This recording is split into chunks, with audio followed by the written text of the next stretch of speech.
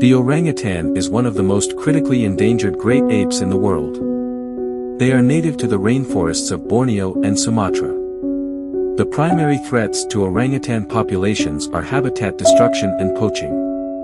Deforestation due to palm oil plantations, mining, and logging has caused significant habitat loss for orangutans. Poaching for the illegal wildlife trade is also a major problem. Conservation measures include protecting their remaining habitats, working to reduce demand for products that contribute to deforestation, and combating the illegal wildlife trade.